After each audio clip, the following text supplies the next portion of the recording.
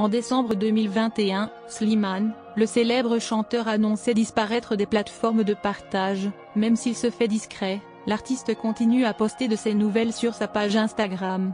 Il y a quelques semaines, il annonçait ainsi à ses fans qu'il venait d'avoir une petite fille, mais son bébé est né prématurément de plus de 4 semaines. Inquiet, le papa a donc partagé un message sur sa page Instagram. En effet, il a vécu les premiers jours de sa fille comme une véritable épreuve. Ça fait un mois que je m'inquiète pour elle qui a du mal à respirer parfois et elle a du mal à se nourrir. Ça fait un mois que je prie tous les jours pour qu'elle aille mieux et pour que je puisse vite la présenter à tous les gens qui l'aiment déjà, ma famille, mes amis, a-t-il en effet écrit. C'est certain, l'artiste ne s'attendait pas à partager cette nouvelle de cette manière. Vita et Slimane ont percé dans la musique grâce à l'autoproduction. Et ils ont eu raison. Avec une guitare, un ordinateur, deux enceintes et une carte son, un artiste peut s'enregistrer et, grâce aux réseaux sociaux, être entendu.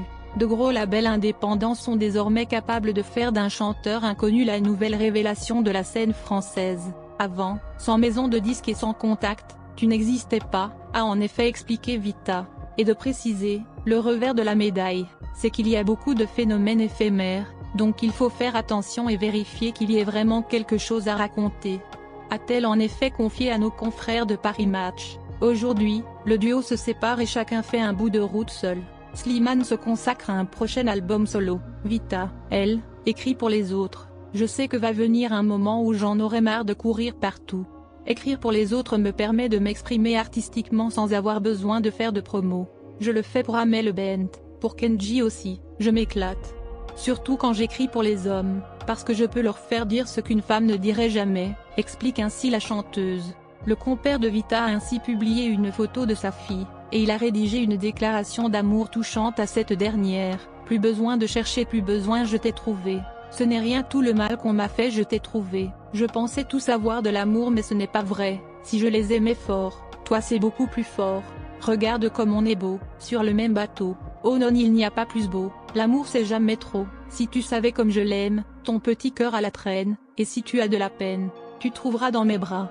Des milliers de je t'aime, a-t-il en effet écrit, le chanteur de 32 ans a donc passé la fête de la Saint-Valentin avec sa fille adorée. Pourtant, l'année dernière, Slimane a très mal vécu la fête des amoureux. Je suis en train de rigoler tout seul car l'année dernière à la même période j'étais en train de chialer comme un bébé parce que mon ex faisait la Saint-Valentin avec quelqu'un d'autre. Un an plus tard je vis ma best life comme quoi, bon ça m'a au moins permis de faire de bonnes chansons pour l'album, a-t-il en effet rédigé, et de préciser, morale de l'histoire, si tu es en train de bader là tout de suite mets ton plus bel outfit fais-toi frais fraîche et regarde-toi dans le miroir et dis-toi que la roue parfois elle met du temps parfois elle va même pas. Dans le bon sens mais un jour ou l'autre tout prend sa bonne place, a-t-il ainsi fini par conclure. On le sent en forme et heureux et ça fait plaisir.